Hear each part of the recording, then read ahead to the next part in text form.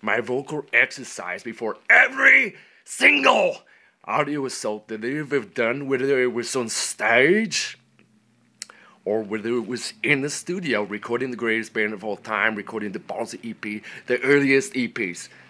This is exactly the approach that they took, and it'll be familiar to a lot of people out there. Ooh, yeah! Macho! This is how you do it! You wanna get your vocals dialed in, yeah, I dig it.